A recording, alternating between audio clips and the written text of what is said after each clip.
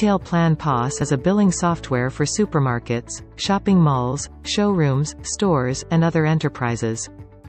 In this video, we will understand how to use the billing software to bill the items at the counter. Now, to bill the purchased products at the counter, firstly, log into the Retail Plan software by entering the username and the password.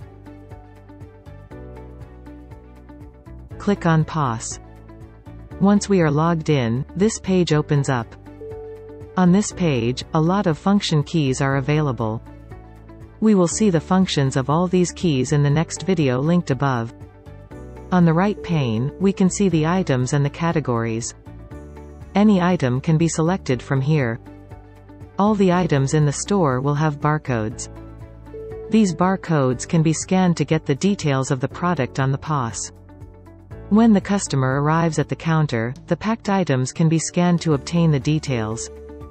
Or the items can be selected from the screen like this. Here enter the quantity and click enter.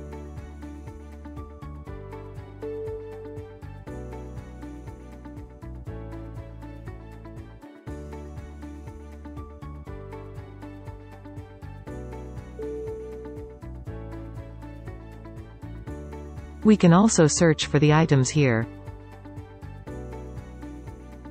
Search for any item. You can see a list of all the products available on the system appears. Select the required item here, and add the item.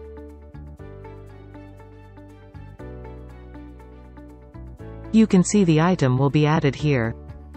Similarly, add all the required items.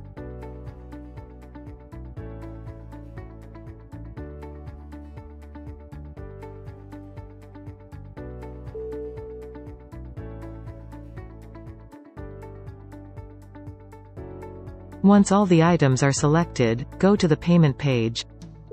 For this, just click on the total amount or click on the payment option here. Now, select any of the payment methods here to make the payment.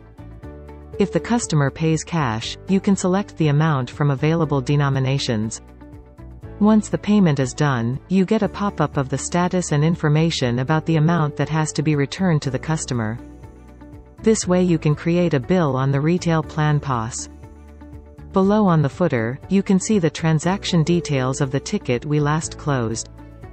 Details such as receipt number, the amount the customer paid and the change returned back to the customer, all this information can be seen here.